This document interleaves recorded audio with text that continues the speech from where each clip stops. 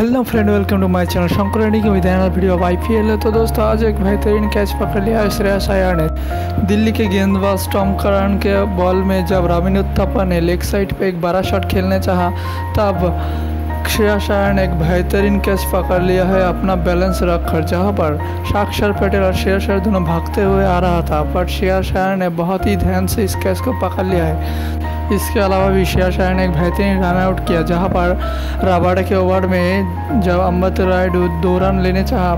but Shreya Shah ने एक बहुत ही बेहतरीन थ्रो करके राबाडा को बॉल दिया जो रन आउट हो गया तो एक